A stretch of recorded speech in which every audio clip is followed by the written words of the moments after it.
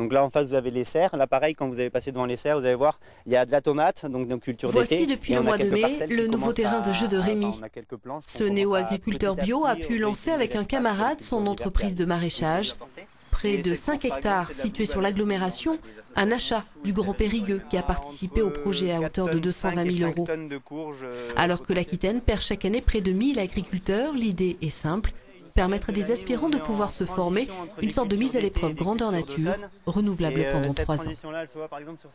Pour juguler en fait ces départs ou ces arrêts d'activité, euh, ben, il faut pouvoir accueillir en fait un public hors cadre euh, familial et euh, pour les accueillir dans de bonnes conditions et leur permettre d'aller vers la réussite de leur projet, il faut leur proposer un accompagnement vraiment adapté.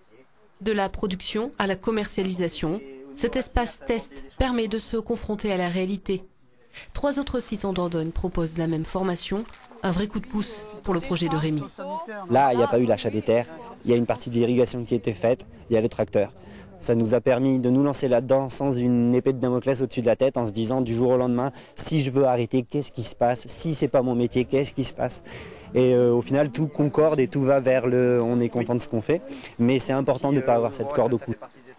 Pour l'heure, la petite société vend sur les marchés ou à domicile, mais le projet porté par l'association AgroBio espère créer des débouchés auprès de la restauration collective et des cantines scolaires.